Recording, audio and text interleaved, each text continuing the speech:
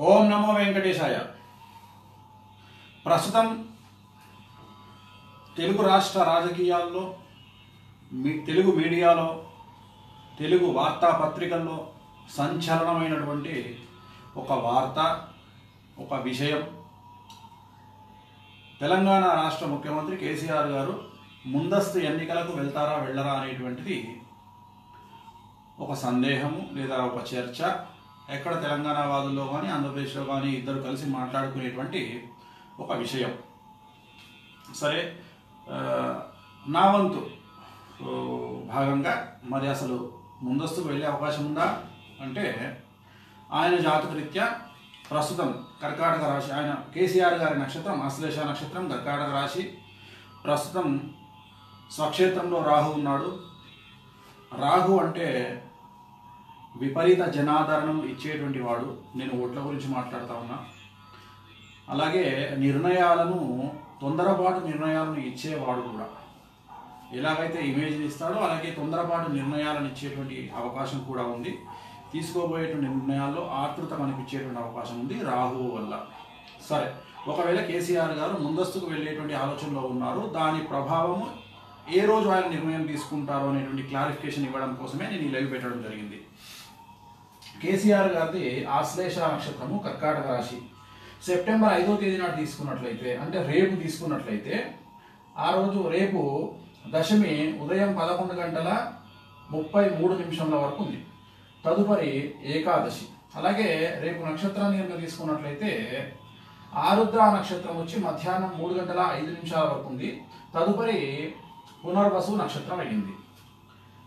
So రేపటి విషయాన్ని కనుక మనం ప్రత్యేకించి రేపటి విషయాన్ని కనుక మనం తీసుకుంటే రేపు మధ్యాహ్నము మూడు గంటల ఐదు నిమిషాల వరకు కేసీఆర్ గారికి పనికిరాదు. కారణం నక్షత్రం వచ్చి ఆరుద్ర నక్షత్రం అయింది నైధన తార. అంటే కేసీఆర్ గారికి ఎగరెస్ట్ రిజల్ట్స్ ఇచ్చేటువంటి తార తారాబలం చూసుకున్నట్లయితే ఆరుద్ర నక్షత్రం కే- కేసీఆర్ గారి నక్షత్రానికి పడదు కాబట్టి రేపు ఎట్టి పరిస్థితుల్లో ఈ నిర్ణయం ఉండేటువంటి అవకాశం లేదు. రేపు మధ్యాహ్నం మూడు గంటల ఐదు నిమిషాల వరకు మాత్రం ఈ నిర్ణయం ఉండే అవకాశం లేదు. ఒకవేళ తిథి ద్వయం ఉంది తిథి కనుక తీసుకున్నట్లయితే మనము దశమి ఏకాదశి రెండు కలిసి ఉన్నటువంటి తిథి రేపు రెండు రెండు కల్పిస్తూ ఉన్నాయి.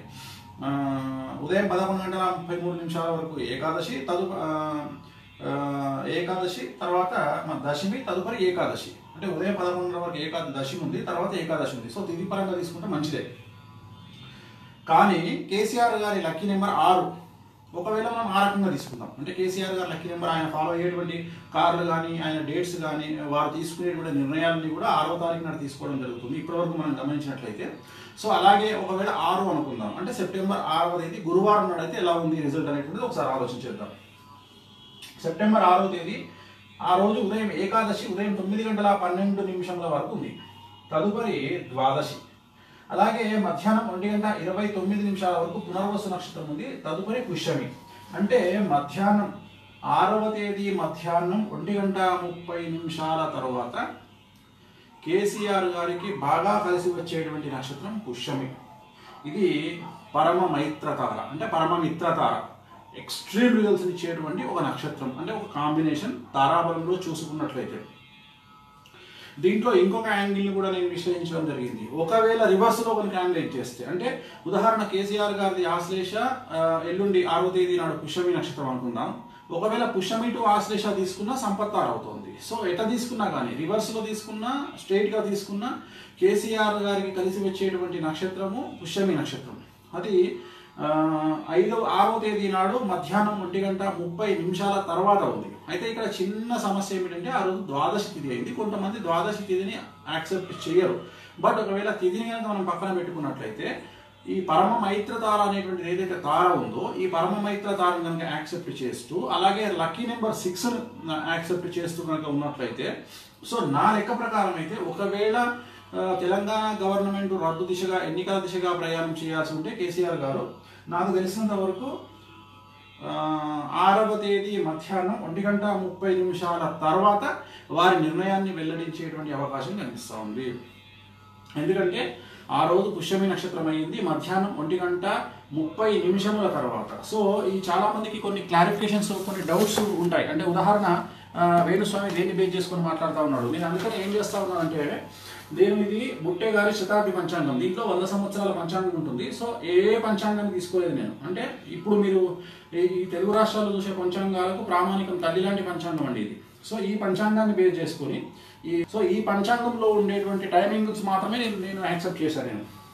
అంటే ఒక్కొక్క పంచాంగంలో ఒక్కొక్క లెక్క ఉంటుంది కాబట్టి నేను గుట్టే గారి పంచాంగాన్ని తీసుకున్న. ఆ పంచాంగంలో నాకు చూపిస్తున్నది సెప్టెంబర్ ఆరో తేదీ నాడు గురువారం ఏకాదశి ఉదయం తొమ్మిది గంటల పన్నెండు నిమిషాల వరకు ఉంది. తదుపరి ద్వాదశి అలాగే పునర్వసు నక్షత్రం మధ్యాహ్నం ఒంటి గంట ఇరవై తొమ్మిది నిమిషాల వరకు ఉంది. తదుపరి పుష్యమి. సో నా లెక్క ప్రకారం కేసీఆర్ గారి నిర్ణయము ఆరో తేదీ సెప్టెంబర్ ఆరు గురువారం మధ్యాహ్నం ఒంటి గంట ఇరవై తొమ్మిది నిమిషాల తర్వాత ఉండేటువంటి అవకాశం కనిపిస్తూ ఉంది. కారణం ఆయన పరమ మైత్రత రావడము రివర్స్లో తీసుకుంటే సంపత్త రావడము సో ఎలా తీసుకున్నా ఆయనకు ఖచ్చితంగా అది కలిసి వచ్చేటువంటి తారాబలం ఉన్నటువంటి రోజు. కానీ తిది విషయంలో తీసుకుంటే మాత్రం కొద్దిగా సందిగ్ధంలో ఉంది. ఆ రోజు ద్వాదశ అయ్యింది. అది ఒకటి మినహా మిగిలిన ఆయన లక్కీ నెంబర్ ఆరు ప్లస్ పుష్యమి నక్షత్రము పరమమైత్రతార ఎట్లా తీసుకున్నా ఆయన నిర్ణయాన్ని ప్రకటించేటువంటి అవసరం ఆ అవకాశం ఆ రోజు ఆరో తేదీ మాత్రమే ఉంది. రేపు తీసుకున్నట్లయితే మనకు పునర్వసు మిత్రతార అవుతుంది. మిత్రతార మీద కంపేర్ చేస్తే మిత్రతార వల్ల వంద శాతం లాభం ఉంటే పరమమైత్రతార వల్ల వెయ్యి శాతం లాభం ఉంది. సో పరమమైత్రతారకు వెళ్ళే అవకాశం ఉంది కాబట్టి ఆరవ తేదీ నాడు ఆయన ఒంటి గంట ముప్పై నిమిషాల తదుపరి మధ్యాహ్నం ఆ, తన నిర్ణయాన్ని ప్రకటించేటువంటి అవకాశం కనిపిస్తూ ఉంది. సో ఈ నిర్ణయాన్ని కనుక కేసీఆర్ గారు తీసుకుంటే ఆయనకు విజయం సిద్ధించాలని మనస్ఫూర్తిగా కోరుకుంటూ ఓం నమో వెంకటేశాయ.